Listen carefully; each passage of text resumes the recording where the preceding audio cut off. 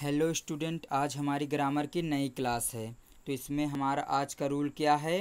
सम nouns look plural कुछ nouns plural दिखते हैं बट लेकिन are singular in meaning meaning में कैसे होते हैं? सिंगुलर होते हैं। सच नाउन्स ऐसे नाउन्स टेक लेते हैं। ए सिंगुलर वर्ब अपने साथ कैसी वर्ब लेते हैं? सिंगुलर वर्ब लेते हैं।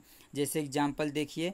Summons news mathematics physics politics measles rickets mumps ये तीनों क्या हैं?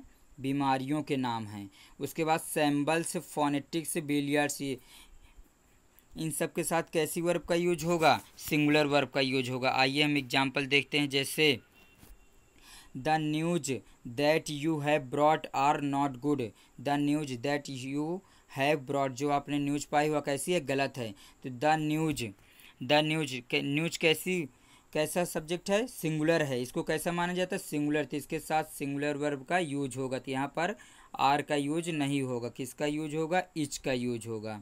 उसी तरह यहाँ पर दैट यू है ना? यू के साथ हैव का यूज़ हुआ है। मतलब ये सही है।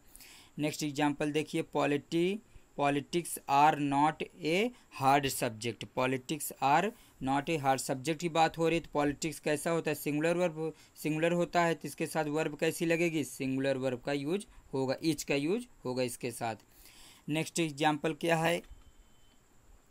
His politics is extreme his politics is extreme. यहाँ पर क्या सेंस निकल रहा है? हिज पॉलिटिक्स मतलब नॉलेज की बात हो रही है, उसके नॉलेज की बात हो रही है। एक्सट्रीम मतलब अत्यधिक होता है, ठीक? विशाल ह्यूज इनॉर्मस ये सब इसके सिनोनिम्स हो जाते हैं। तो उसके नॉलेज की बात हो रही थी यहाँ पर इज़ की जगह क्या हो जाएगा? आर हो जाएगा। यहाँ पर आर हो जाएगा। लेकिन यहाँ पर क्या, यहाँ पर सब्जेक्ट की बात हो रही थी इस वजह से यहाँ पर क्या था? इच का यूज़ हुआ था। यहाँ पर इच का यूज़ हुआ था। यहाँ पर उसके नॉलेज की बात हो रही थी। यहाँ पर किसका यूज़ होगा? आर का यूज़ होगा। नेक्स्ट एग्ज़ाम्पल देखिए। Five summons have been sent to him five summons have been sent to him अब यहाँ देखिए सम्मन्स क्या होता है? सिंगुलर वर्ब होती है। लेकिन यहाँ पर फाइव लिखा है। फाइव के साथ हमें प्लूरल चाहिए। तो सम्मन्स का प्लूरल क्या हो जाएगा?